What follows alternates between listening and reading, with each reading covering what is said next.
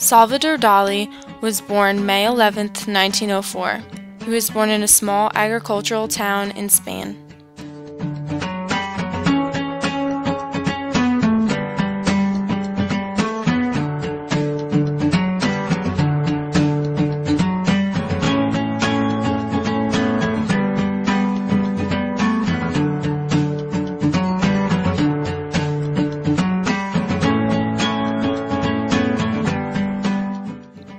Dali's first well known paintings was finished in 1918 entitled Portrait of Lucia.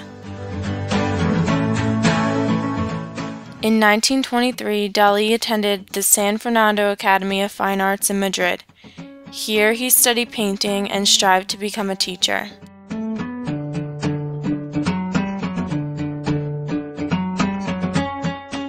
After becoming expelled from the San Fernando Academy, Dali was still creating art and was still being recognized. Here, he displayed The Girl from the Back in 1925.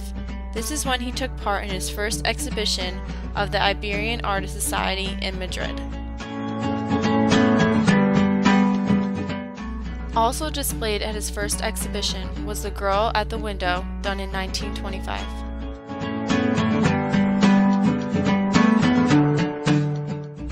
Dali soon joined other surrealists in Spain, one of which was Andre Breton. He was soon a leader in the surrealist movement.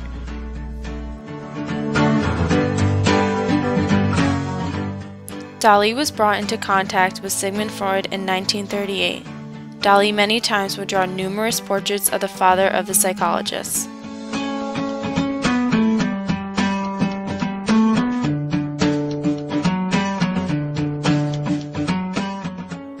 From his work, it is clear to see that Dali had a mind for imagination.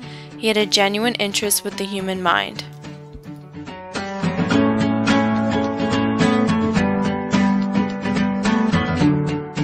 During World War II, Dali and his wife left Europe and moved to the United States from 1940 to 1948. In 1941, just a year after moving to the United States, the Museum of Modern Art gave Dali his first major retrospective exhibition. Just a year after that, in 1942, Dali's autobiography, The Secret Life of Salvador Dali, was published. Salvador Dali was part of the silent film era. In 1946, he collaborated with Walt Disney and started the production of the film Destino. Destino is an animated short film. It was released in 2003 by the Walt Disney Company. Destino is unique because it originally began in 1945, 58 years before it was eventually completed.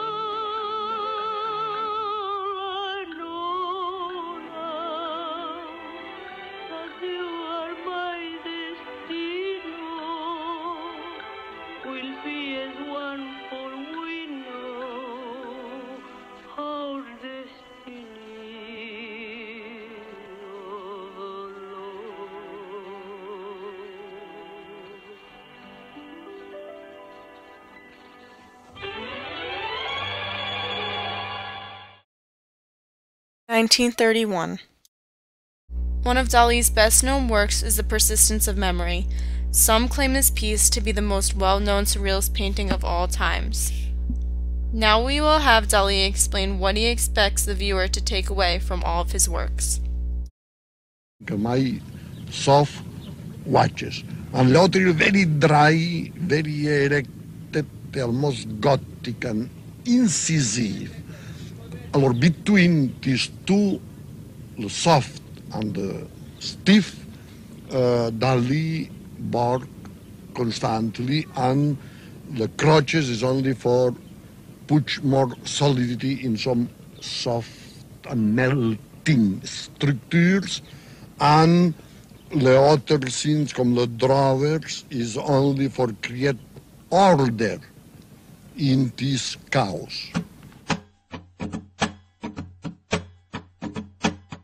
In 1947, Dali opened the Teatro Museo, or Theater Museum, in his hometown in Spain. This was once a municipal theater where Dali had his first exhibition at age 14. The museum was known as the world's largest surrealist structure. The museum holds a broad range from work from Dali's earliest artist stages to his last.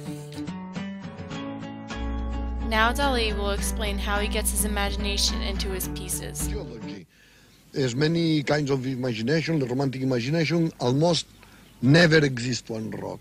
It's only folk, uh, uh, music, uh, evanescent visions of Nordic uh, countries, no? Valkyrias, everything is completely... Moustache is the contrary of the moustache of Friedrich Nietzsche.